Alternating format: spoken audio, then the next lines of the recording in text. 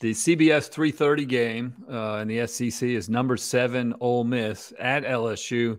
This line's been bouncing around. The last I saw, LSU is a one and a half point favorite, which is curious considering that LSU is unranked and, like I said, Ole Miss is undefeated and number seven.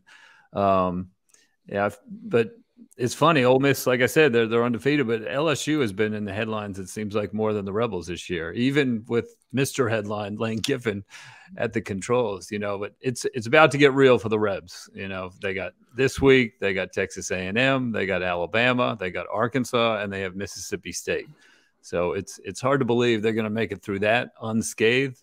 Um, and even this week, like I said, they're underdogs uh, against LSU.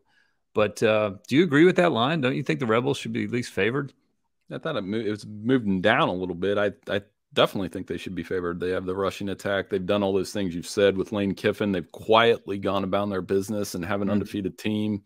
Shown more consistency at the quarterback position than LSU has. LSU's been up and down, which again, you've written about this, Bill, that first year coaches, that's going to happen. So, you know, the peaks and valleys with Brian Kelly are very real. Um, Fun game though. I mean, this is one that if you're at Ole Miss, like we I was saying on yesterday's podcast, that I think they have a very real opportunity to beat Alabama this year.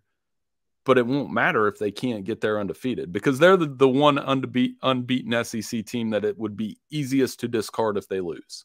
Mm-hmm. Be like, oh, that's Ole Miss. They lost. Get get them out of here. But I, I I like them. I like their chances uh, on the road, and it should be a fun game.